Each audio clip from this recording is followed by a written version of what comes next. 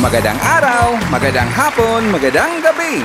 Depende ho yan sa time zone ng ating lugar at sang sulok man tayo ng ating mundo. Sana sa mabuti tayo na kalagayan at walang sakit-sakit ang lahat. Sa makababayan nating OFW at makababayan natin na nandyan sa Pilipinas, babang araw sa ating lahat.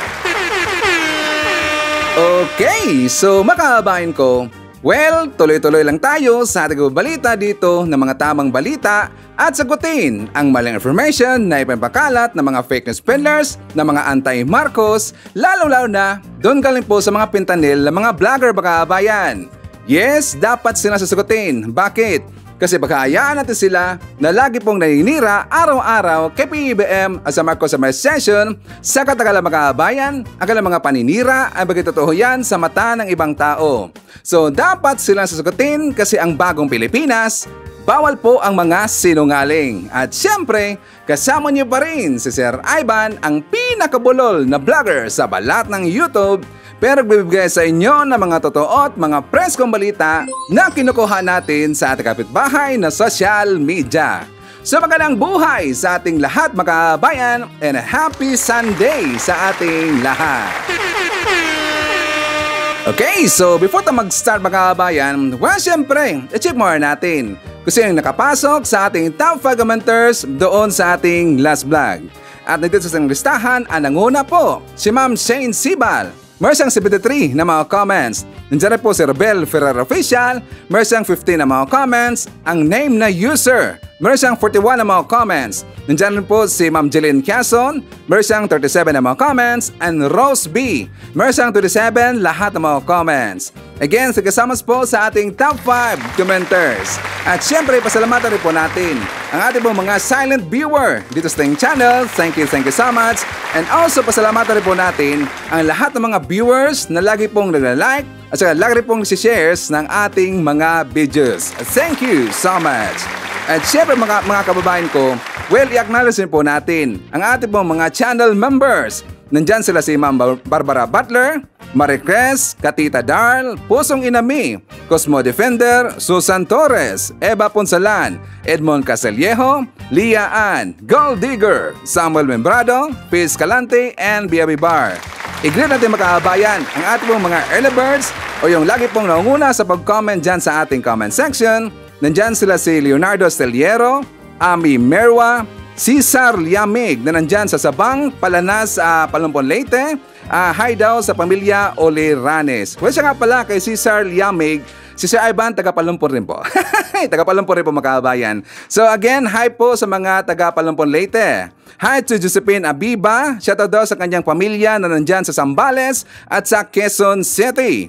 Hi to Erickson Tesmo Vlog from Kuwait. Uh, shoutout daw sa kanyang pamilya na nandyan sa Barangay Gingawan, Tanawan, Leyte. Shout out daw sa lahat ng mga membro ng INC o Iglesia ni Cristo. Siyempre kasama rin po natin si Ma'am Maria Cristina F. Manimbao, Rales Carlinga, Linda Lim from the city of Ilagan, Isabela. Nandiyan po si Emmy Mapalad, Aurora David, Nonoy Florin Hills, Flora Gumapak, and hi to Ma'am Army Lagaso from Sacramento. Okay, so kumusta ang lahat mga kabayan? How are you today? Well, how's your Sunday morning mga kabayan? Well, siya ka pala! Kahapon, mukha yata nakamali Sir Ivan eh. Nasobrahan po sa energy kahapon mga. Kasi nga, di ba sinabi ko kahapon na Sunday daw kahapon mga. Sunday daw kahapon. Sumubra si Sir Ivan. Well, pasensya po, pasensya po. Kasi nga, today is Sunday. Kahapon, Saturday mga kabayan. Nasobrahan siguro sa kain si Sir Ivan. Kaya nga, sumubra yung energy. Well, I'm first, I'm hoping po na sana maganda ating gising ngayong umaga. At meron po tayong very energetic po na aura katulad rin po kay Sir Ivan. At doon po sa ating mga haters, mga ano mga critics si Sir Ivan at lagi pong sinisiraan si Sir Ivan, tinatawag po na fake news si Sir Ivan. Well, I miss you already and I love you all. Hey, welcome po sa ating channel. So, ayun as makaaban ko, well, kahapon marami ng pasabog, ano? Maraming ngang, ano, maraming ngang umalman ng mga DBS. Kinuyag si Sir Ivan. So, lalo-lalo na, doon po sa nangyari po sa Tacloban City, makaabayan. Well, actually, pag-uusapan pa rin po natin mamaya yung Tacloban magkabayan, yung, yung nangyari po sa Tacloban kasi meron po tayong update. Kasi nga si mismo na po si Digongyo, si PRRD, si ano si FPRRD ay nagsalita rin po makabayan. Yes, meron siyang open letter po na ipinakalat ng kanyang mga vlogger. So mamaya po ano ah, babasahin natin yung mga makabayan. And also pag-usapan rin po natin kasi nga mismo po doon sa Davao City, abay nakagulo makabayan, nakagulo doon yung mga alipuris po ni Digong. Kasi nga I think some of you na narinig nyo na po na meron dang ipinadala, ipinadala doon na dalawang batalyon po ng mga staff, uh, mga staff official makabayan na ano nabasa niyo ba yung balita? Meron pong ipinadala po ng mga staff officials dalawang batalyon. So ibig sabihin dalawang batalyon makabayan, 'di ba? Yung isang batalyon I think uh, Uh, it consists yata to 1,000 ba lahat ng mga opisyal maka mga PNP o mga police makabayan or mga soldiers nga pala. 'Di ba 1,000 ba sakto ba si Ivan? 'Di ba 1,000 yung isang batalyon. So kung dalawang batalyon, ang ibig sabihin 2,000 lahat po ng mga batalyon po ng SAF officials ang ipinadala doon po sa Davao City Makabayan. Nagkagulo Nakagulo kasi sabi na para daw uh, naghanap na daw dito ng gera yung Marcos admin po doon sa mga Duterte, sa mga Duterte makabayan. Well, hindi kasi na alam po kung ano, ano, kung ano po ang operation na gagawin po ng mga SAF officials doon po sa Davao City makabayan. At lalong-lalo na Sinibak rin po sa pesto yung Chief of Police ng Davao City Makabayan. At saka meron po siyang ano, meron po mga uh, na-relieve po, tinanggal po sa pesto ang mga 40 yata lahat, 40 po na mga PNP officials Makabayan o mga kapulisan. So mamaya pag-usapan natin yan. And also, pag-usapan rin po natin itong si Senate President uh, Senator uh, Chase Escudero Makabayan. Kasi uh, meron po nag-forward sa atin isang video, uh, meron po nag-forward sa atin po isang viewer na kung saan nakita ko po yung video ni, ano, ni Chase Makabayan, ang kanyang interview doon sa kapihan sa Senado, na kung saan para sa akin, very alarming Makabayan. Yes, very alarming na kung saan no nakita ko po ang kanyang mga answer doon po sa mga reporter makabayan, parang nasabi ko dito, parang it's a talagang malaking ano malaking mistake po na pinalitan po itong si Subere. Totoo lang, nasabi ko makakabayan, very alarming talaga eh. Kasi kung iintindihan, i, ano, iintindihan natin po yung mga sagot po ni Cheese makakabayan, parang nagmukha ditong, parang pa sa akin, first time tayo nakita na isang Senate President na naging abogado po kay Alice Go Makakabayan. At saka, tingin ko po dito, parang naging siyang protector po ng Pogo Totoo yan, yan po aking pagkakita doon. Ayan po aking pagkaintindi doon po sa kanyang mga sagot makabayan. Kasi nga 'di ba sabi niya na ang burden of proof daw, ito po issue po doon sa kay Alice Go makabayan na kung saan 'di ba hinawakan po ni Senator Rizon Tiberos yung uh, yung credentials dito, yung ano yung uh, yung sa pagkakilanlan dito ni ano ni Alice Go na marami pong nag-isip Baka itong si Alice Gumakabayan ay suspected ato uh, human trafficker, uh, big scam, uh, mar- mar siyang mga scam, uh, baka scammer nga pala siya. At saka meron po ditong ano makabayan, baka protector po ng Pogo. Pero iba kasi yung pagkatingin doon, yung pagkatindi doon ano ni Escudero Makabayan, mukha bang tulog?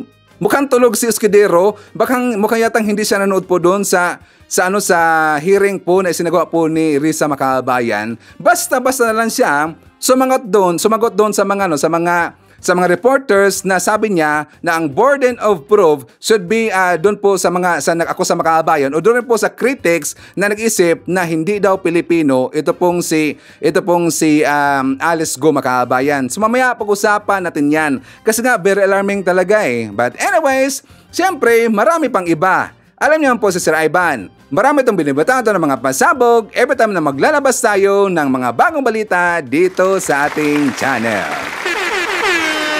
Okay, so before na mag-start mga kabayan, well, siyempre, kakumustahan ko muna kayo at saka shoutout natin ang ating mga pinalangga na mga legends, ang ating mga senior citizen. Hello po, kumusta, kumusta?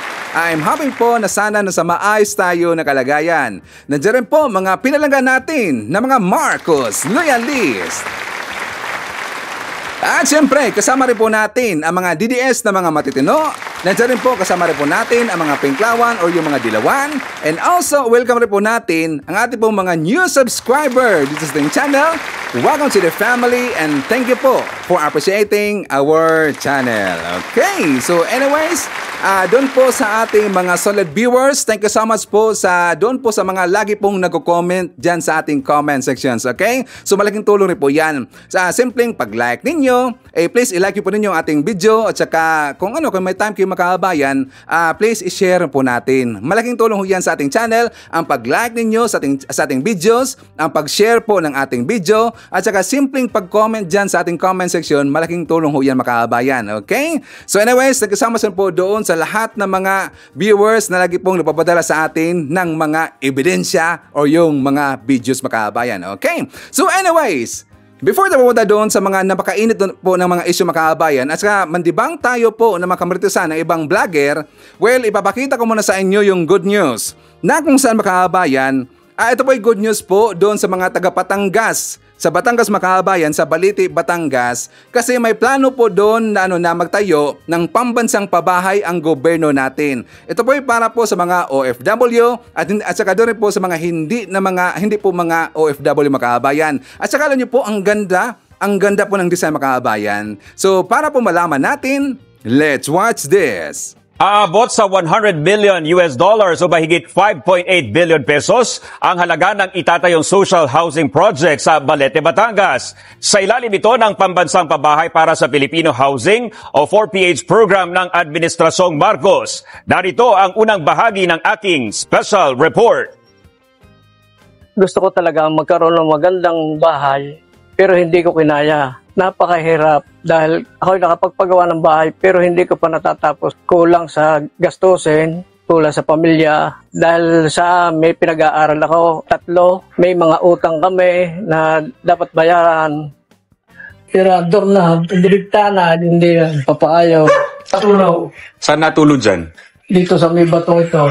Tila sa panaginip na lang ang pinapangarap ng 60 anyos na si Tatay Joniso na magkaroon ng isang maganda, komportable at disenteng tahanan para sa kanyang pamilya. Sa kabila kasi ng 15 taong pagtitiis at pagkikipagsapalaran sa iba't ibang bansa bilang isang crane operator, wala siyang pagkukunan ngayon para matapos ang pagpapaayos ng kanyang bahay, lalo't kakarampot lang naman ang sweldo niya bilang isang job order na empleyado sa munisipyo.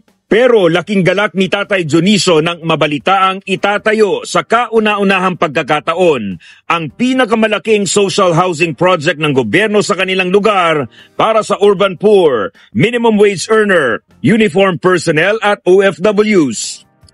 Higit anim na hektarya ang lawak ng lupaing nabili rito para sa pambansang pabahay para sa Filipino Housing o 4PH program ng Marcos Administration dito sa Balete, Batangas, kung saan higit apat na libong benepisaryo ang makikinabang na magkaroon ng disente at abot kayang pabahay.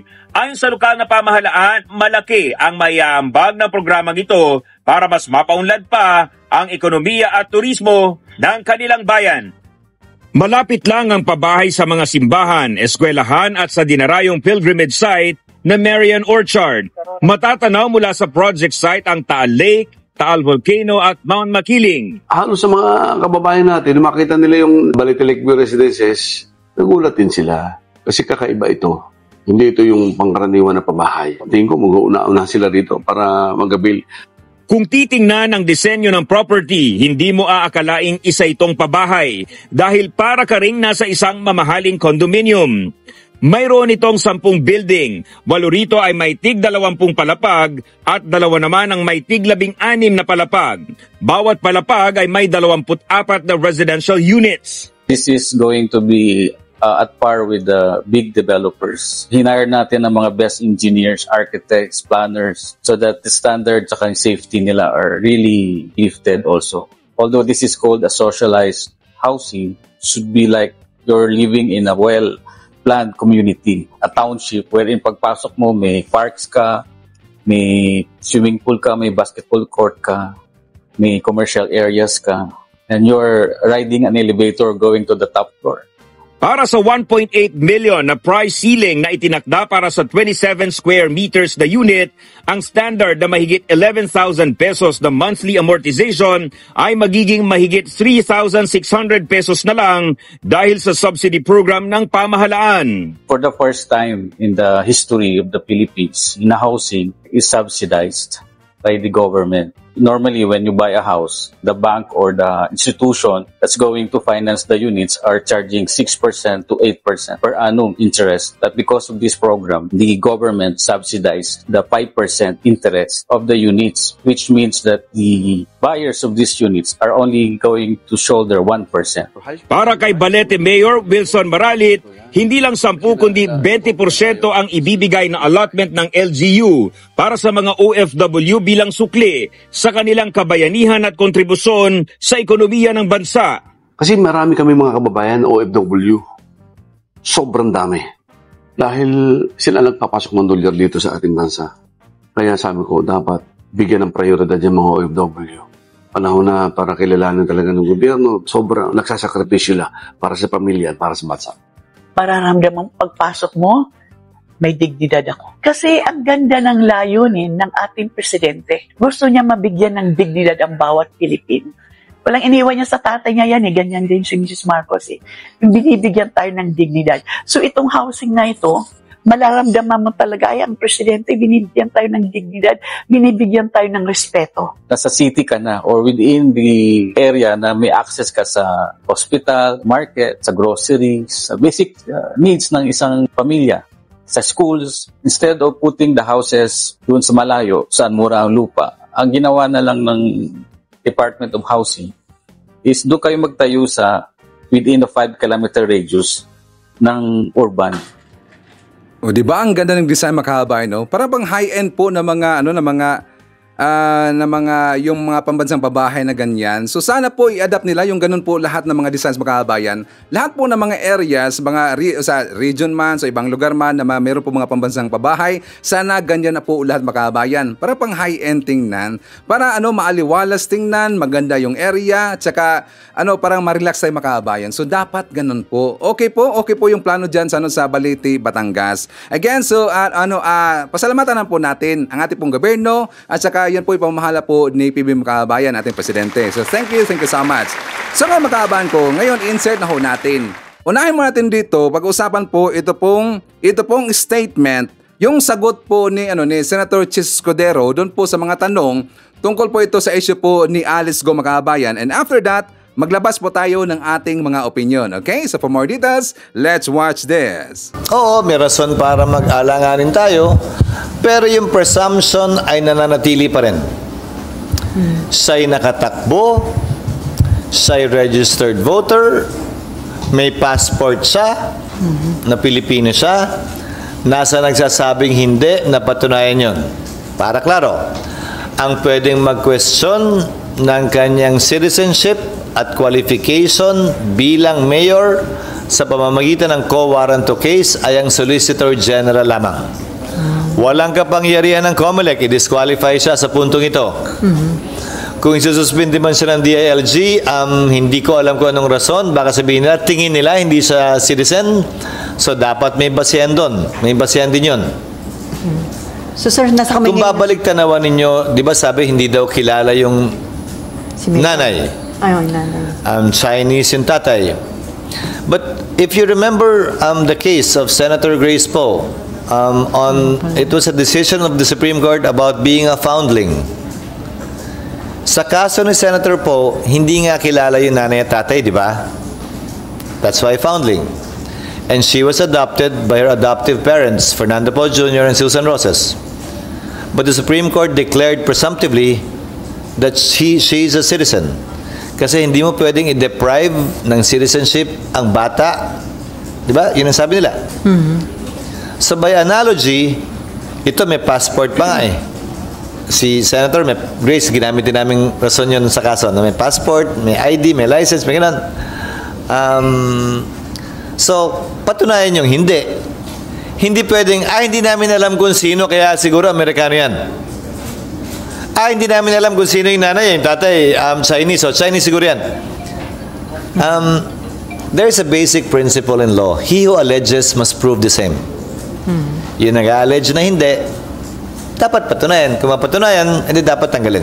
Kasi may mga... Kasi yesterday si Senator Ligarda was telling uh, Mayor Go that to convince uh, everybody that she's a Filipino. So you're saying it should be the other way around. Everybody should, the people accusing her should convince everybody that she is not a Filipino. Let me say it this way. The burden of proof Nandun is on those saying she's not. Kaya nga, kasi nga, kaya, gaya ng sabi ng COMELEC, ministerial ang pagtanggap ng Certificate of Candidacy. In fact, di sila pwede mag-disqualify ah.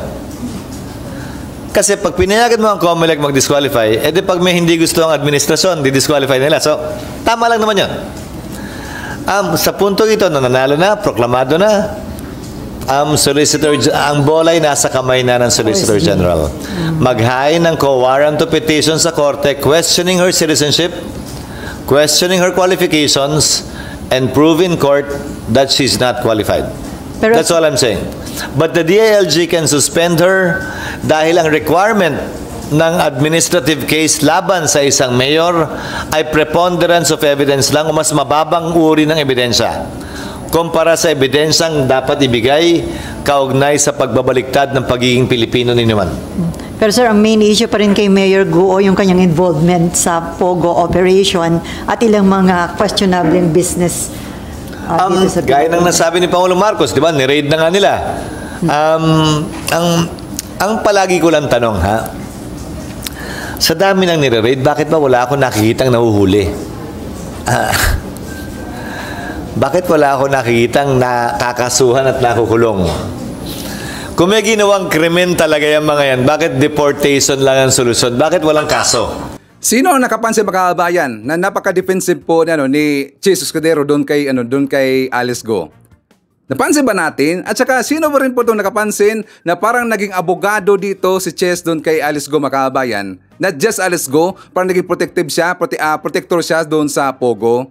ba? Tulog ba si Ches makabayan during po sa Senate hearing kay Alice Go? Samantalang doon po sa mga sagot pa lang ho, sa mga sagot po ni Alice Go, ang daming irregularidad doon, irregularities doon at saka inconsistencies po ng kanyang mga sagot doon. Ang dami makaabayan. Pero bakit hindi ho yan mapansin po ni Chess? 'Di ba? Parang ano, parang ipinagtanggol pa niya si si Go, katulad po rin doon nila ni, ni Panelo, katulad po ng ibang mga reports po ni Digong. Bakit makaabayan? Alam niyo po, parang ano parang ginpush dito ni ni ano ni Chess Sudero na mag-isip sa kanya na parang na parang ah, parang totoo dito na siya po ay makadidies makabayan. Correct if I'm wrong. Or totoo naman talaga na siya po yung makadidies. Bakit? Napansin ba natin? Napansin ba ah, doon po sa ano sa pag-change of leadership na makabayan, parang minadali. At saka doon po sa mga bumoto na ano na, na tatanggalin po sa pwesto, ito pong si Subiri ay 75% doon makabayan mga DDS. Napansin ba natin yan? Ito po yung nakakatakot, no? Hindi kaya hindi kaya na ito pong si Chess ay inilagay nila dyan sa mag, ah, inilagay dyan sa pwesto na yan bilang Senate President para maging protector po sa mga Chinese na mga mga kriminal makabayan. Napansin mo natin kasi, kasi nga mar- maraming nagsasabi kung bakit daw tinanggal itong si Subiri dahil daw sa PDA leaks, dahil daw doon kay, kay, kay Kibuloy na issue. Pero uh, tungkol rin po doon sa ano sa Chacha Makabayan. Pero sa akin ngayon, dahil po sa mga sagot ngayon ni Ches, parang parang lumiwanag Makabayan na ito pong si Ches inilagay po bilang Senate President para maging protector siya sa mga Chinese makabayan or or ano or be specific tayo doon po sa involved po ng Pogo na for example kay Mayor Alice Go. Bakit? Sino ba ang naglagay po, ah, sino ba ang tumulong kay Mayor Alice Go na maging Mayor Makabayan? 'Di ba si Digong? Sino ba ang tumulong dito kay Go na magkaroon po ng pogo dyan sa ano, Bamban Tarlac? Si Digong Makabayan. So ang ibig sabihin, naging naging protector siya kay Digong. Kay Alice Go, pinagtahan niya, ang Pogo pinagtahan niya. Bakit? Kasi nga, ah, 'di ba, talagang basag na basag ngayon sa ano sa social media, ang pangalan po ni Digong na baga na naging parang affiliated po, parang malaking tulong siya dito or may malaking factor na tumulong po dito sa sa, sa mga taga Pogo makabayan. Kaya siguro itong si Chess inilagay bilang Senate President. Okay? So ngayon makakabahan ko, babalikan po natin. Backtrack tayo. Doon po sa issue po na ni Mayor Alice Go na kung saan hindi nakita kasi ni ano ni ni ano ni uh, Chis Escudero ang mga inconsistencies po dito inconsistence ni ano ni ano ni ni Alice Go doon po sa kanyang mga sagot sa mga questioning po doon kay Rizon Tibers Makabayan like for example sa kanyang pamilya or sa kanyang mama sa kanyang papa. E ngayon napag-alaman ho natin na kanyang mamagpapa wala pong record sa PSA makabayan. So doon po sa ano, doon po sa issue po ng kanyang mga siblings na kung saan sabi niya hindi na alam eh, parang gindinay niya yung kanyang siblings makabayan. 'Di ba? Parang, parang, malaking maram, maraming butas talaga eh. Hanggang nalaman ho natin na ito pala ito pala middle child itong si ito pong si Go. So ito po yung malaking ano, malaking kuan talaga, uh, very alarming talaga ito pong sitwasyon po ni Go at hindi dapat ito ihalin tulad kinompare kasi ni Chess doon po kay Senator Grace po Makabayan. Di ba parang parang ginawang ginawang uh, ginawang uh, firewall dito itong issue po ni Grace po. Iba kasi ang situation po ni ni Senator Grace po kay doon kay Alice Go Makabayan magkaiba po. At bakit naman at bakit naman yung, uh, yung accuser, ang nag po, ang maglabas dito ng ebidensya makabayan? 'Di ba sabi nga ni ano ni Chess na burden of proof should be uh, for uh, should be on those nag-accuse maka, or doon, doon po sa mga nag-critics dito kay Alice Go. Dapat ibaliktad. Bakit? Kasi nga inimbestigahan siya dyan po sa Senado makabayan. So dapat ang burden of proof should be shift doon po kay Alice Gumakabayan, hindi po doon sa nag-akusa. Kasi nga inimbestigahan siya. At bakit lumabas po yung pangalan ni Alice Go? Dahil po Alice Lee na-involve ang kanyang pangalan sa Pogo Makabayan. So malaki ang pagkaiba ang sitwasyon po ni Go at saka dito po kay Senator Grace po Makabayan. Hindi ko talaga magets kung bakit gin brought up niya parang kinaladkad ni ano ni, ni, ni ano ni ni uh, ni ni Chiscudero yung pangalan po ni Grace po Makabayan. 'Di ba ang layo talaga eh. Bakit niya ano bakit niya gin ano gin kalad ka niya dinala niya sa issue na 'yan? Isamantalang dapat nga tayo po ay nakafocus lang do sa issue ni ano Nego kasi nga ngayon meron po mga bagong mga ebidensya na mga na mga lumalabas ngayon balita-balita na yung papa po ni Alice Go ay parang nagtatrabaho po sa isang spy Chinese spy agency makabayan at konektado po sa CCP. So ito po yung talang issue na to isang security issue makabayan. So bakit ganun po ang asta ni Senator Chis Escudero tungkol po sa issue ni Alice Go Makabayan? Bakit? Ito po ang nagsaisip. Ginprotektahan niya si Digong Makabayan. Correct ba I'm wrong? Di ba? Sakto ba, DBS? Giprotektahan niya si Digong. Isipan mga lang natin yung mga bumoto doon na patanggalin po si si Sobera Makabayan. 75 doon, 75% mga, D, mga DDS.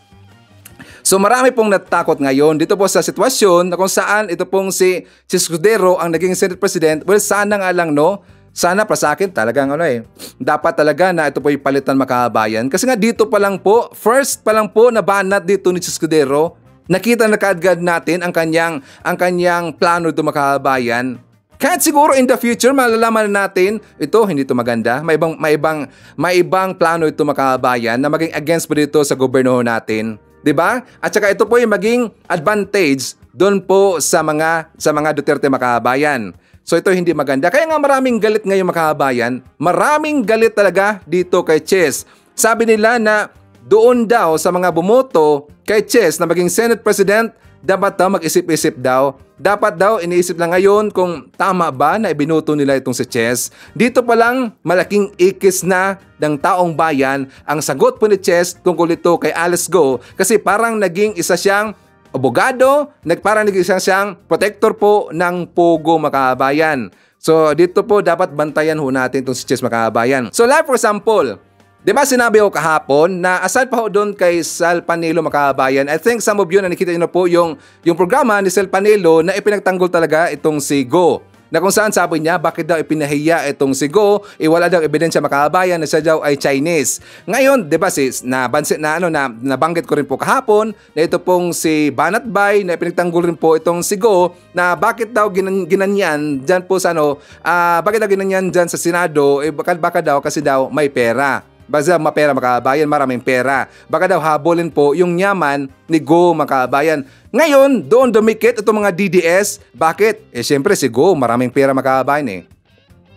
'Di ba? Itong mga DDS kasi, itong mga DDS ng mga vlogger, kung saan yung mapera, doon sila didikit makabayan. Napansin ba natin yan? So halos lahat ngayon ng mga influencers, ng mga DDS po na mga, na mga vlogger, yung mga alipores po ni Digong, na kung saan ipapakita ko sa inyo makabayan. Like for example kay Malo.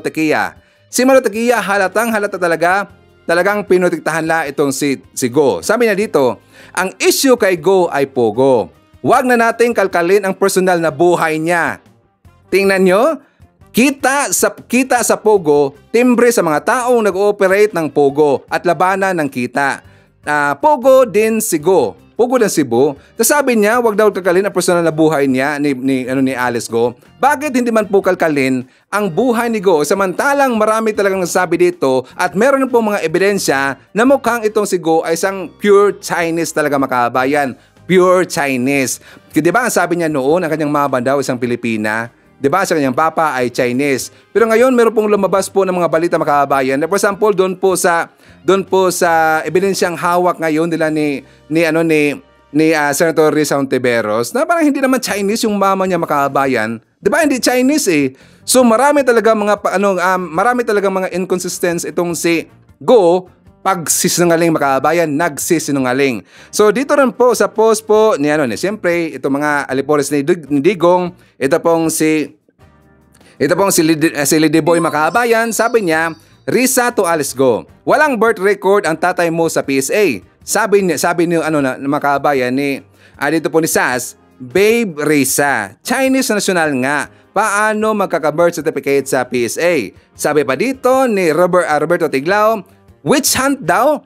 Witch hunt daw yung ano ang ang style na ginamit uh, ang witch hunt, witch hunt daw, yung style dyan sa pag-questioning po ni Rizal Tiberos Makabayan, I find it disgraceful for Senators Rizal Tiberos and Sherwin Gatchalian to be grilling in a hearing of the Committee of Women Bamban Tarlac Mayor Alice Go as if She were presumed as not a legitimate Filipino and connected to Chinese criminal groups operating the online gambling or POGOs, and so on and so forth. If they believe, so they should let authorities, the B, uh, Bureau of Immigration and National Bureau of Investigation to investigate her. Ang dyan po sa Senado, ang ano, bakit sila inimbestigahan po itong si, ito pong si Mayor Alice Go? Para kasi makabuo sila ng batas makabayan at para po maiwasan, katulad po ito sa issue po ng Pugo, katulad po ito sa issue po kay Alice Go Makabayan. 'Di ba? Aid of legislation. So yan po, yan po ang point dyan. Pero wala namang problema. Kapag meron pong makita po ng mga ebidensya na pwede na talagang, na pwede na pong kakasuhan, ito pong si Mayor Alice Go Makabayan will dadalhin ho yan doon po sa korte. Di ba, like for example po, doon kay Senyor Aguila Makabayan. Nalalaban natin yan. Ba ka Senyor Aguila, after po sa hearing, di ba pinakasuhan ng Makabayan dun po sa korte. So yun po, ayan po ang mangyayari Malamang diyan po kay Alice Go Makabayan. Meron pa itong si Mark Lopez, ito mga ano mga defensive to eh. Sabi dito, the case of Bamban Tarlac, Mayor Alice Go is another classic xenophobia tactic being encouraged and amplified by the powers that be acting at the behest of the imperial masters. And like Pastor Kibuloy, this Alice witch hunt is meant to really put the onus on Rodrigo Duterte as the enabler of Alice and all the things that are supposed to be politically wrong. O, di ba? Nagdudula sila makaabayan, didipinsahan na kaagad itong si Digong. Kasi nga alam naman po natin at sinabi rin po yan mismo ni Alice Go na ang nagpanalo sa kanya, ang tumulong sa kanya na maging mayor, si Digong. Ang tumulong po kay Mayor Alice Go na magkaroon po ng pogo dyan sa Bamban, si Digong rin po makaabayan. Kaya nag-ingay sila ngayon, pinotektahan nila si Digong. Uh, dito po kay Alice Go makaabayan. Okay? So ngayon, ipapakita ko na po sa inyo kasi nga yung mga nag-comment na yan, talagang tinira sila ni Commodore Tariela makabayan. Yung mga nag-comment, yung apat, sabi niya dito ni Jay Tariela, uh, surprisingly, those who remain silent about China's illegal actions while criticizing the government's effort to expose China's aggressive behavior all seem to have one thing in common. They are all defenders of Apollo Kiboloy, Ambanban, and Bamban Mayor Alice Go. This observation raises uh, raises the question of whether this alignment is merely coincidental or if these, individu- uh, these individuals are actually taking orders from someone to further China's narrative and protect those who align with China's grand strategy. Ang ibig sabihin po ni Commodore J. Taria makabayan na meron pong nag ano, meron pong nagkumpas dito sa mga tao na to kung bakit dinipinsahan nila ito pong si Alice Gumakabayan. Kasi nga usapin na tungkol sa China. Kapag madawit kasi yung tungkol ito sa issue po ng China makabayan, nandyan kagad itong mga gunggong nito, mga liporis po ni Digong. Kapag issue naman po sa mga pangharas po ng Chinese Coast Guard doon sa West Philippine Sea, di ba, tikumbibig sila makabayan. Hindi sila sumasagot. Pero dito kay Alice Go, the by number one, nag, ano, naglumbaan talaga eh. Nagpaunahan makabayan na magdepensa. Bakit? Marak, malaki kasi ang nala sa, likod makabayan. Malaki kasi ang green color sa likod, di ba? Pira-pirahan na po ang labanan dyan. Dumikit sila kay Alice Go kasi mapera makabayan. mga piraparahan talaga eh. Tayo pa'y ginugong tayo pa'y ginagago nito. Nakitang-kita naman, very obvious, 'di ba? Si atong si si Bayad Bay, dumikit ang mga banateros, dumikit sila si Panelo, mga alipores po ni Digong, itong mga influencers po ni Digong, biglang dumikit kay Go, halatang halata talaga eh. Pira-pirahan lang ang laban. Di ba nakatawa talaga eh. So anyways makaaban ko, papakita ko rin po sa inyo yung isa po sa portion doon po sa hearing po ni Senator Rizal Tiberos Makabayan dito po kay Alice Go. Kung malalaho natin, di ba si Alice Go Makabayan meron siyang McLaren na 620, 620R, yung sports car Makabayan. Di ba nakalagay kasi doon sa, ano, sa sa balita noon na meron kasing uh, nanalo daw yung sasakyan po na sports car ni Alice Go na ito po uh, ito po uh, ipinakita nila sa isang car show yata yun makabayan. 'Di ba? Owned by Mayor Alice Go ang nakalagay doon. Nalaban natin 'yan. Ngayon, dininay ho ito ni Alice Gumakabayan na hindi daw sa kanya. Isamantalang nakita ho natin, di ba, sa mga pictures at mismo pong post po ni Alice Go na meron pong nakalagay sa baba na Mayor Alice Gumakabayan. Yun yung McLaren, McLaren 620R. Ngayon, dininay niya hindi sa kanya makahabayan. At saka para po maintindihan natin, let's watch this. Backtrack ako sa sabi nyo kasi hindi sa inyo yung McLaren na 620R. May photo kami dyan. Yes po, Your Honor. Hindi po siya sa akin. Oo, pero yung ipapakita ko pong photo, yung nakapangalan kayo doon na bilang may-ari ng McLaren. Yung isa pa. Ah, opo. Wala wala po wala pong dokumento po na magpapatunay po na ako po yung may-ari po your honor kasi mayroon pong car show po sa Tarlac that Yun. time. Opo.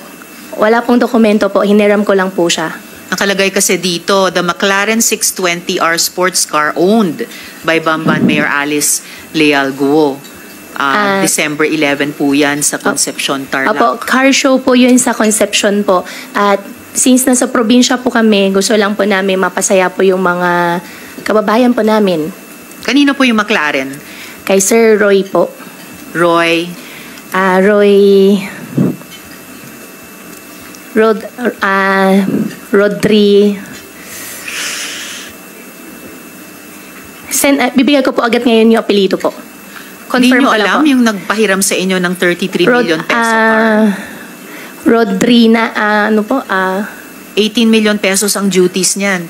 Siguro naman, alam niya yung pangalan nyo dahil pinahiram niya ang napakamahal na kotse. Dapat Opo, alam niyo yung pangalan ah, niya. Opo, ah, ma'am, i, ano, i-message ko na po ngayon. Is, hindi lang po ako masyado sure po doon sa surname po niya. Anong pagkakilala niyo sa surname niya? Ah, Rodriguez po. Roy Rodriguez? Rodriguez. Sino po siya? Ah, sa kanya po yung, ano, yung McLaren po. Pero sino po siya na nakaka-afford ng isang McLaren? Ah, kakilala ko po siya. Nakilala ko po siya, gawa po ng mga sasakyan po. Ah, okay. Itatanong ko rin yung sasakyan. Um, siya ba ay isa sa mga incorporators nyo dito sa West Cars? Ah, hindi, hindi po. Nakita ko lang po yung dokumento. Sige po.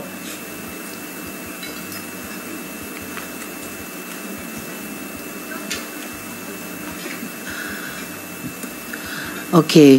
Ang nakalagay po ditong ah, incorporators sa West Cars, ah, Yan Patrick Samson, kayo, Alice L. Guo, Jerome Samson, Jacqueline Samson, pare-parehong middle initial D sa naunang Samson, so baka magkakapatid dito, at Carlo Flores. Wala pong Roy Rodriguez. Ano po siya sa West Cars?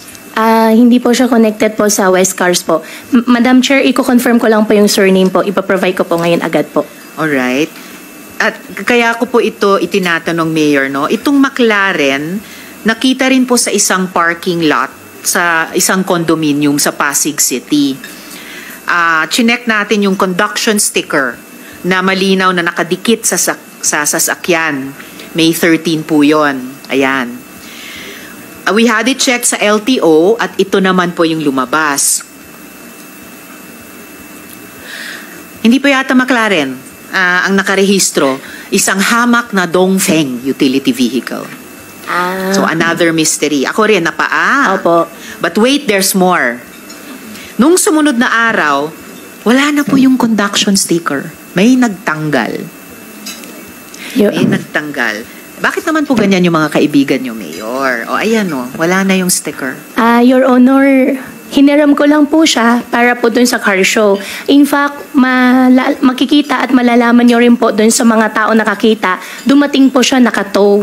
Kasi hindi, ay, eto na po, Padri, Padiernos.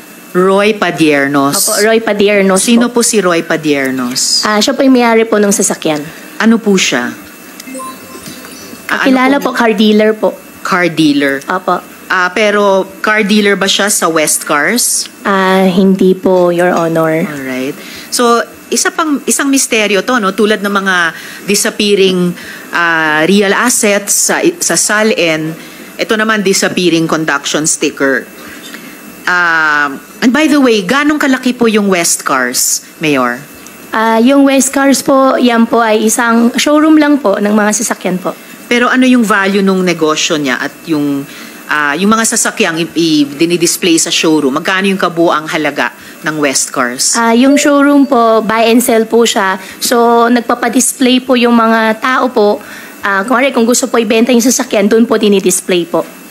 So magkano po yung kabuang ah, ah, halaga nung negosyo ng West Cars? Ah, Your Honor, hindi po ako sigurado, sure po doon sa eksakto, pero buy and sell po siya ng mga second hand po na sasakyan po yung West Cars. Malaking negosyo siya or maliit? Um, considering po, gitna po siguro po, Your Honor, kasi second hand na sasakyan po yung mga binibenta po doon sa West Cars po. I doubt na middle size lang at hindi lang po second hand cars yan. Second hand, yes, mayroon. Pero meron ding mga brand new. At hindi mga pipitsuging kotse. May ka-level ng McLaren, may kung ano-ano pang mga social na brand, mga limousine, mga bridal cars, mga bulletproof vehicles. Hindi po yan ah, gitnang size na ano. I, I wish, Mayor, na pwede nyo nala kaming sagutin ng diretsyo, hindi parang mga nag, ah, nagda-divert na mga sagot na pag pina-follow up naman namin ay nalalaman po na hindi po accurate or makatotohanan yung sagot.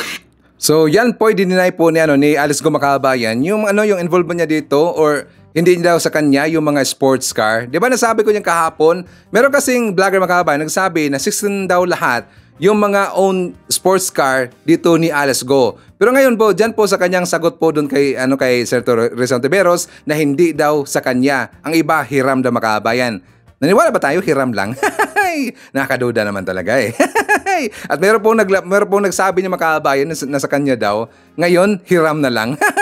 Amnesia girl talaga eh. So yan po sana makita no ni ano ni Senator uh, Chis Escudero. Hindi dapat na bagay parang isa kang abogado, protector ka ni Alice Go kasi kitang-kita naman eh. So dapat talaga siguro na na ano napapalitan itong si Chis Macaba, no? delikado talaga eh. So anyways, up more natin. Nandyan po kasama natin si Ren Ren. Hi to Freddy Guzman, Teresita, uh, Teresita Elamil. Nandyan po si Sarah Brightman Vlog, Estila Tangliben. Nandyan po si Red Sign, Karina James from Hong Kong. Hi to Domingo Cardinosa from Canada.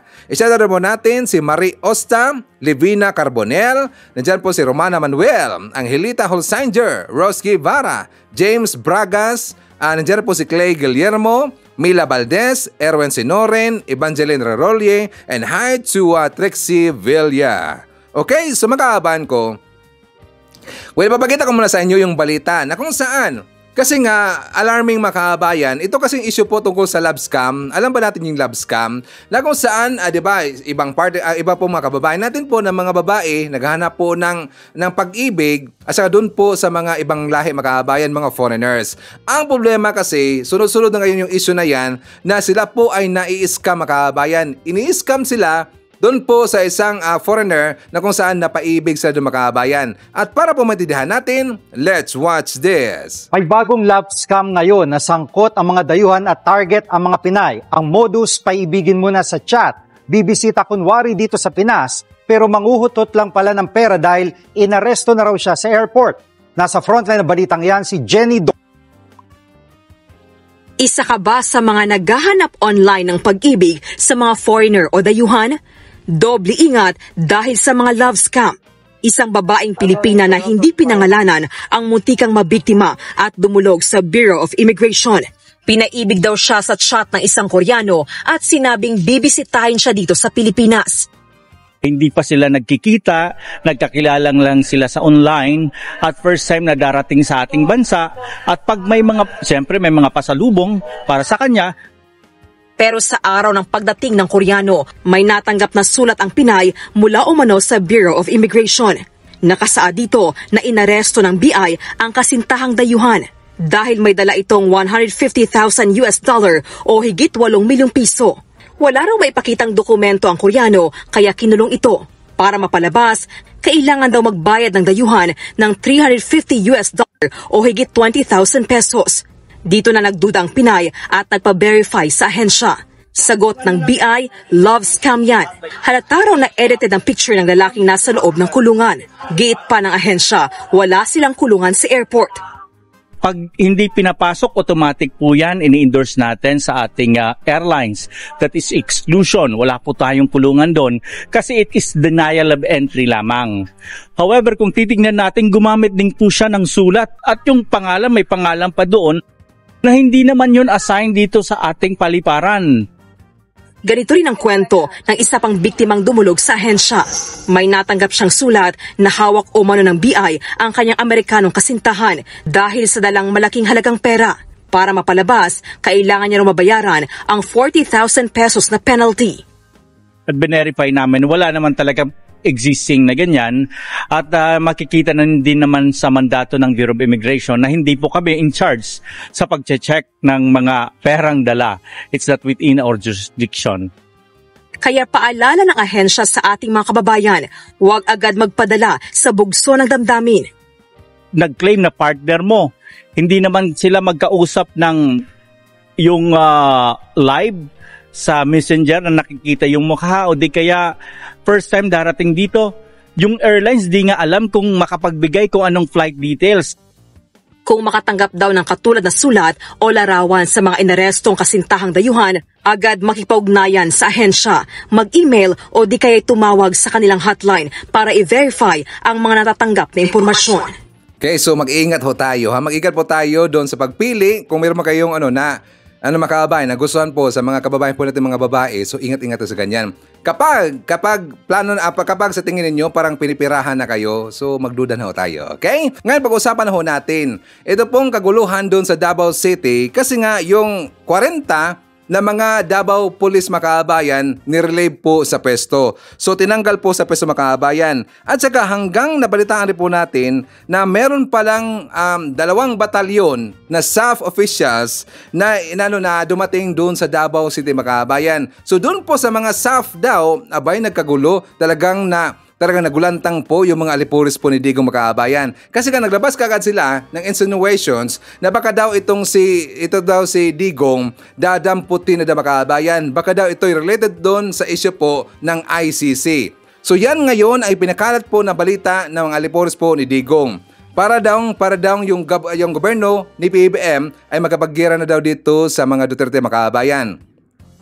Okay, so about ho doon sa mga sa 40 po na mga Davao City Police Officers na kung saan tinanggal muna sa pwesto makabay, tinanggal sa pwesto, nirelave po.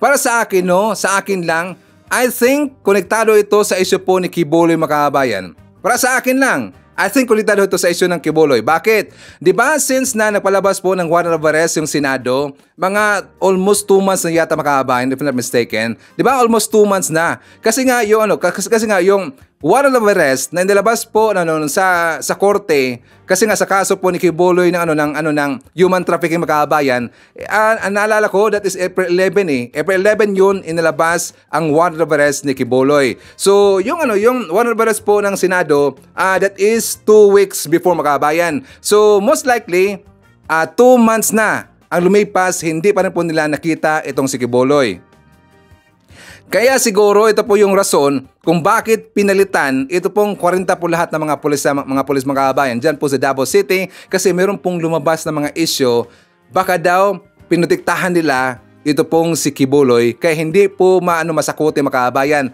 pinutiktahan po ng mga Davao City official uh, ng mga Davao City Police. Yan po ang luma, lumabas ngayon ng mga sabi-sabi daw na protektado ng makabayan. Di ba sinabi ko rin po yan noon, hindi kaya protektado makabayan? Kasi nga talagang hanggang ngayon, wala pa rin pong, wala pa rin pong uh, progress eh, wala pa silang balita tungkol kay Buloy. E samantalang, di ba, sabi na po, sabi na po ng taga, taga Davao Police Station Makabayan na nandiyan lang daw dyan sa Davao City, di ba?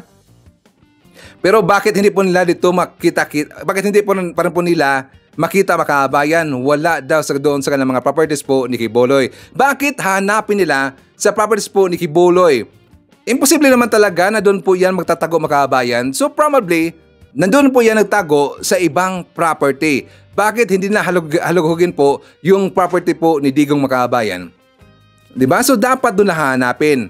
Tungkol naman po dito, Tungkol naman po dito sa mga staff officials, most likely kasi kagadun kanun po kadami makabayan. So dalawang batalyon, ang ibig sabihin 2,000 lahat po ng mga staff officials ipinadala, ipinadala doon dyan po sa Davao City. So malamang meron silang operasyon makabayan kasi nga marami eh. Kapag staff na, tapos ganun po ganami, ang ibig sabihin, meron silang iba po na mga operasyon. So ito po yung sekreto makabayan. Pero sana nga, papasok na yung ICC. pa sa akin, dapat papasokin ng ICC talaga eh. Sana nga no, ito po related po sa ICC. Maganda yan. Kaya nga nagkagulo ngayon yung mga alipores po hindi ko makabayan. Saka meron pang nagsabi na ano, ito pong si GB, uh, ah, si EB Jugalbot, ang sabi po ni EB Jugalbot makabayan, sabi niya, they are at war against the Dutertes. Make no mistake about it. BBM and his administration is nervous to a point they have been gripped by paranoia. What's next remains to be seen, so we as Filipinos should remain vigilant, very, very vigilant.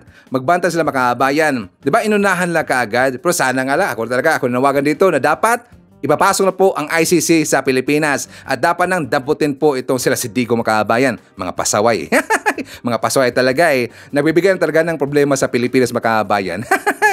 Gusto lang mag-asahan po yung taong bayan para po pababain po sa pwesto si PBM. Yan naman kasi ang purpose po ng kanilang rally-rally, yung nausog rally makabayan.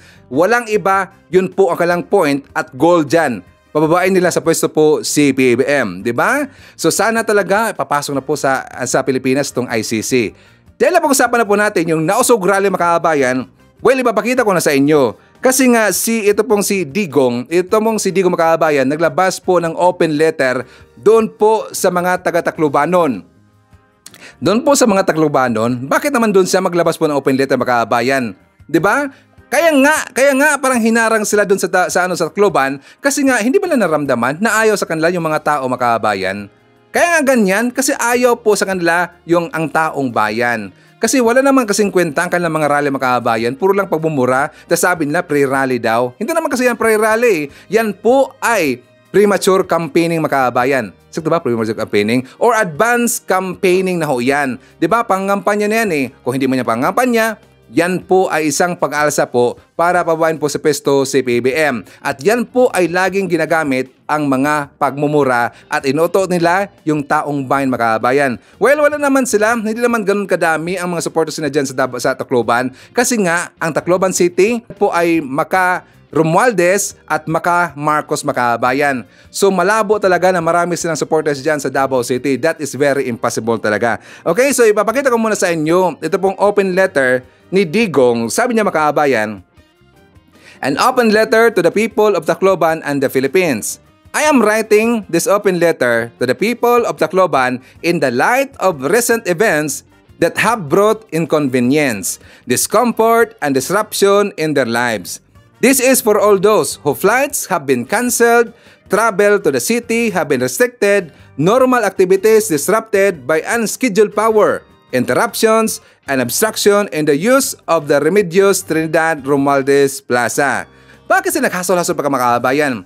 Bakit pa naman sila maghasol-hasol pa na dyan sila magrarally sa Tacloban, eh pwede naman sila doon sa Davao? ba? Kung doon sila sa Davao Kabayan, walang problema at wala pong haharang sa kanila.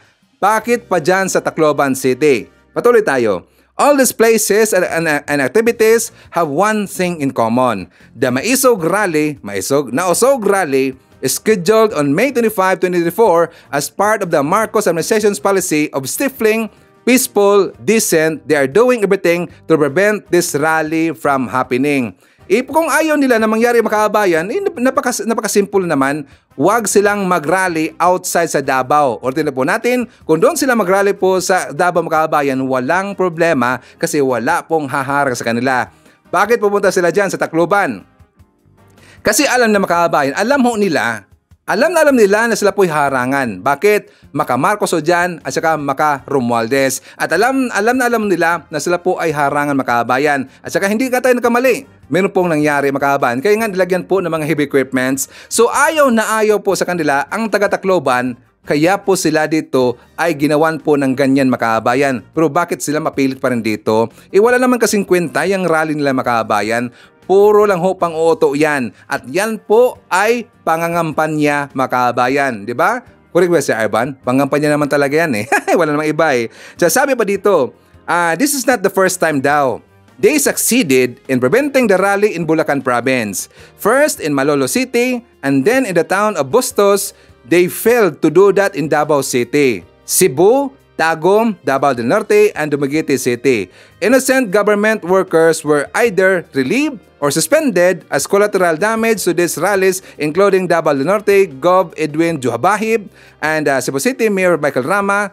The message is clear. Unless you do your part in thwarting these rallies, you pay dearly for it. So para walang problema, doon na lang po sila sa Davao. Anyways, online naman ho yan.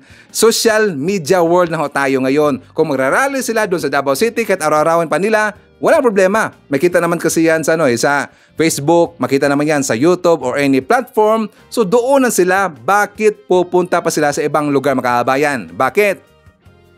Meron kasing budget ni makabayan. Correct if I'm wrong? Meron ho yung budget. Lahat po ng mga inimbitan nila ng mga vlogger, may mga budget yung makabayan. Mismo na nga, 'di ba? Mismo na nga sinabi po ni PL ni ni ano ni ano makabayan yung si yung may maitim po na lips na sabi niya may mga may may nag-sponsor sa kanila pero ayaw daw magbabanggit makabayan. So ibig sabihin, mayroon pong nagbabayad sa kanila. Kaya nga pumupunta talaga sila, eager sila pupunta diyan. Sila po yung mga yung sila si Rocky, sino pa diyan sila si Glenda Chong, may mga budget kasi sila niya makabayan. At saka magkaano, ano nyo ba, yung magkaano po ang budgetan nila dyan sa, ano, sa isang rally. Sa mga sa mga sound system pa nga lang, doon pa nga lang sa isang uh, sa isang uh, yung parang TV makabayan, lead panel pa nga lang, all in all lahat po na setup na yan is almost half million makabayan. Malaki ang budgetan nila dyan. How much more? Doon po sa mga taong ginhire nila, hinakot nila, hinakot rin po nila yung mga vlogger nila, may mga budget talaga yan. Kaya gusto nilang magingay, gusto nilang magrally sa, sa iba't ibang lugar makabayan. Dahil pirapirahan na ho yan. Okay? So clear ba? Kaya kahit walang kwenta lang, kahit alam nila na wala pong wala namang ano, wala namang gusto yung tao diyan sa sa Tacloban City, talagang gumigit-git sila. Bakit? Kasi bayad sila makabayan. Okay? So anyways, isa po natin. Nandiyan po si Tarhata Pagaryungan, hi to Tessie Puyawan, Apuyawan, hi to Marilyn De Los Santos, Ming Centino, Tinkerbell, hi to Edmondo Liabres, nandiyan po si Belia Bautista, Aida Sinsuat. Hi to Lady Elsor. Isata na po natin si Jemson, si Regen, si Jeriel, and Jimboy of Cebu City. Come from Rodolfo Randadarabor of uh, Tansa, Cavite. Hi, uh, kasama rin po natin si Mary Jane Tan, Eva Narita, Evelyn Garcia, Ming Ongria, Centino. Nandiyan po si Rosalie Cartera, Gemma Sampilo Camarines, Robin ah, Bazinga Salindong, and hi to Devi or Bibi Garcia. Nandiyan po, siya nga, siya nga pala, nandiyan po si Junits Jax, ah, Victor Rubin, Beth Modisto, Annabel Hoson, Apple Nash, and hi to Marilo Bednarek. Okay, so makabayan ko, insert ko na po dito ang balita natin tungkol po sa PAGCOR kasi ang PAGCOR makabayan, nag ano na sila, ah, meron silang paalala tungkol po doon sa online games, tungkol po sa online games makabayan. Kasi nga 'di ba, marami pong mga ano ngayon, yung parang naungo po sa online games makabayan. Yung mga kabataan natin, talagang ah, ang iba na problema na ang kanilang mga pag-eskwela dahil po sa online games, ang iba nag-aaway makabayan dahil po sa online games. So ito po yung paalala po ng PAGCOR. For more details, let's watch this. Nagpaalala ang Philippine Amusement and Gaming Corporation na dapat gabayan ang mga kabataan sa labis na paglalaro ng online games. Yan ang ulat ni Denise Osorio. Sa panahon na laganap ang internet sa Pilipinas, lalo na sa kabataan, hindi maiiwasan ang paglalaro ng iba't ibang online games. Karamihan dito, hindi regulated ng Philippine Amusement and Gaming Corporation o PAGCOR. Ayon kay Dr. Stephanie Diaz Morel, Vice President ng International Gambling Counselor Certification Board, unti-unting nahuhook sa mobile gaming ang kabataan. Ang masaklap, nabubulaga ang mga magulang sa gastos gamit ang kanilang credit cards. In the US and other countries, there are many stories of parents who have gone into great debt um, because their children have used games that have the gotcha mechanics, and then we'll say, you know, hundreds of thousands of pesos later, realize that the game companies have taken this from them, and it causes, of course, a lot of turmoil with the family and the children um, as a result. Hindi naiiba ang sitwasyon ng mga kabataan dito sa Pilipinas. Sa tulong ng Seagulls Flock Organization at ng Better Institute, kasama ang mga eksperto galing Yale School of Medicine sa Amerika, nakipagtulungan ng Quezon City Local Government at ang PAGCOR na umpisahan ng International Conference on Responsible Gambling and Gaming Addiction upang maipaalam sa mga Pilipino ang masamang epekto sa paglalaro ng online games. Nakakwentuhan ko si JR na naglalaro ng isang kilalang online game. Aniya, sa libreng oras lang niya ito nilalaro at hindi pa naman siya gumagastos ng pera kahit hook na siya sa online games. Siyempre kapag gumagastos ka ng pera, ano yun eh, parang parang nag invest sa laro. Pero ganun din kapag ah, hindi ka nag invest ay nag-invest ng pera, gumagastos ng pera, parang ah, meron siyang ah, sentimental value, no? Kapag uh, yun naglalaro ka nga meron meron siyang sentimental value na hindi hindi siya basta-basta uh, mawawala parang ayaw mong pakawalan yun. So kahit na kahit na mag-quit ka ng mga isang taon isang eh, dalawang taon ganun babalik-balikan mo pa rin yung mobile gaming. Laro laro kapag uh, specific ka sa isang laro. Si Bato naman tumigil na sa paglalaro ng mobile game. Muntik na raw siyang nalulong sa paglalaro dala na rin sa tinatawag na FOMO o Fear of Missing Out sa gacha. Yung idea kasi na parang nangongolekta ka ng mga characters, yun yung parang para sa akin na naging uh, naging ano para maging addicted ako sa larong kasi yung iba kasi, yung idea kasi na pag meron yung iba, dapat meron ka rin. No? Kaya siguro yun yung mga factor na ba't sila gumagastos. Ang tinatawag na gacha ay isang gaming mechanic na nahahawig o may tuturing na pagsusugal dahil gumagamit ito ng in-game currency upang gastusin sa pagkuha ng mga random na in-game loot items. Kapag naubos na ang in-game currency, nawiwiling gumamit ng totoong pera ang manlalaro upang makuha ang bagay na target nila.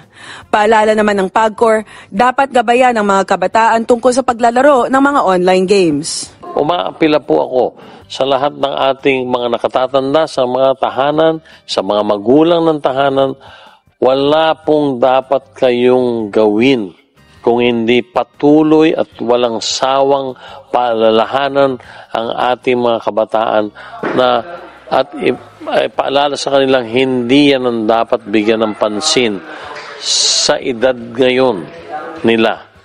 At ang dapat siguro bigyan ng pansin lalo ang edukasyon rather than, than maglaro ng mga games na yan.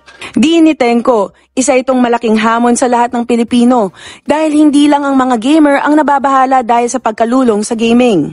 Magkakaroon na rin ng National Help Hotline para sa gambling and gaming addiction na ilulunsad bilang isa sa mga programa ng conference. Alam niyo makakabay, naalala ko na meron kasi akong nakita po that is sa mga 2 months ago na yata na balita ng kanyang anak nalulong po sa mga online games makabayan. So nanghingi siya ng pera doon po sa kanyang nanay kasi nga pambali nila siguro ng mga heroes, yung ano pong mga mga gamit nila diyan po sa Games Makabayan. Meron silang meron silang bibilhin yan eh. Like basta yung mga heroes, yung mga gamit po sa Heroes Makabayan. Meron silang bibilhin yan. Ngayon, siguro, hindi siya binigyan po ng pera ng kanyang nanay, sinakta niya makabayan. So, yun po yung narinig ko po sa balita. I think that's two months ago na yata yun. So, kaya nga, uh, talagang ano, i-advise natin ating mga anak no, na hindi po dapat malulong po sa mga games na, kla- na klaseng games na ganyan makabayan. Kasi kasi talagang naka-addict yan eh. So kung gusto po sila mag-upgrade po ng kanilang ko ng kanilang ginag- ginagamit nila, kailangan kasi nila ng pera. So diyan na po magka-problema makabayan. Okay? So anyways, uh, any comments, suggestion, reaction sa ating mga topics ng araw, please feel free to comment dyan sa baba at babasahin niyan mamaya ni Sir Ivan. Okay? At yan po ating mga nakalap na balita ngayong araw. Kung nakaabot ka po sa portion na to, sana nakapag-like na ho tayo. Libre po mag-share. Libre din ang subscribe. Again, maraming salamat sa mga viewers na hindi nag-skip ng ating mga commercials. Thank you, thank you so much. At before natin tatapusin ating programa ngayong araw, sana sabayan nyo si Sir Ivan para sa ating live messaging prayer. Makapangyarihang Diyos, pinupuri ka namin at sinasamba. Ikaw po ang katatagan namin sa panahon na niyayanig kami na problema at mga pagsubok sa buhay. Ama, patuloy mo kaming alalayan at palakasin nang sa gayon mapagtagumpayan namin ang anumang hirap sa buhay. Amen. So maraming maraming salamat mga kababayan and I hope to see you again on my next video. Panahon na!